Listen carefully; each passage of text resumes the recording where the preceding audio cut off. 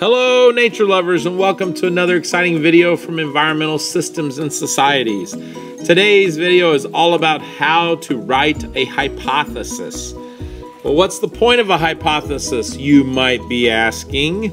And I will tell you, the point of a hypothesis is to answer your science question. Our last video was all about how to write a science question, and a hypothesis is about how to answer it. But before you can do that, you need to understand variables. So the first one is an independent variable.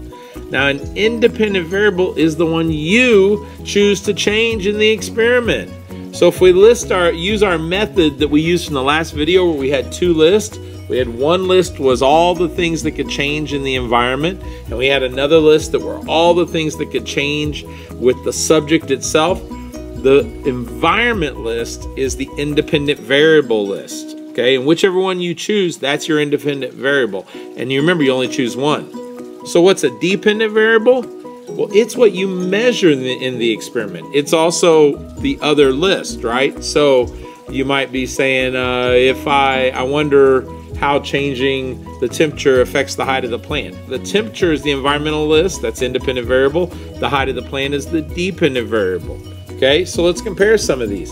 Independent variables are things like temperature, amount of sunlight, and amount of water, things you can change.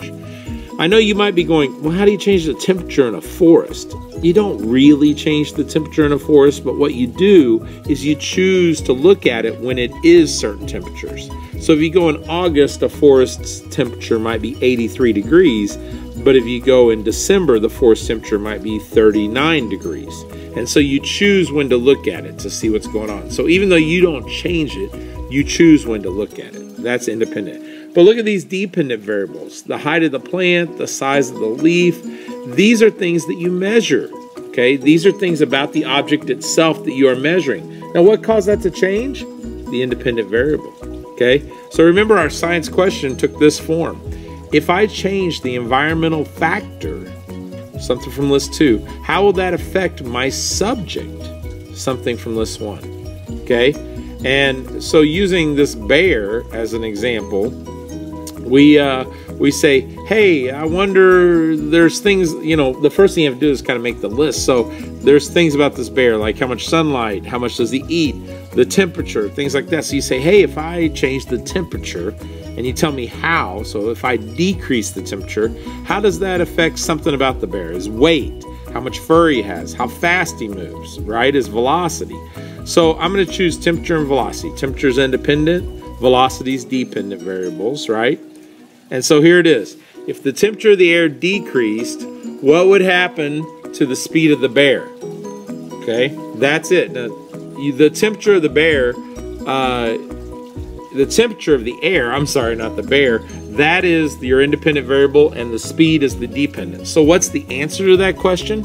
Well, the answer is your hypothesis. And that's the point of a hypothesis is the answer. The hypothesis is your answer. Get it? All right, so how do you make a hypothesis? Well, it's really pretty simple. It looks a lot like your science question.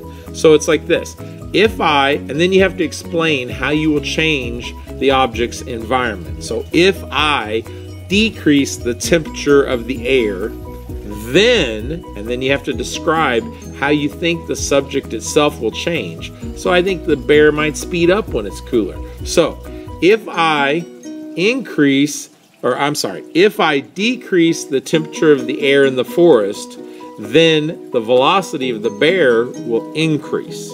See how I fit that into this uh, formula for making a hypothesis?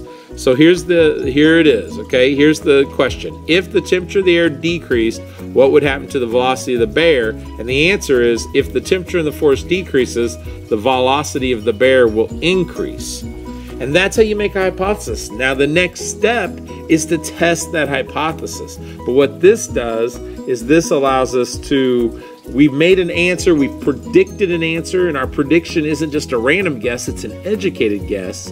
But we've made that educated guess, which is our hypothesis. And now we go to step three, which is designing a test for it. I hope that makes sense. If it doesn't, please let me know.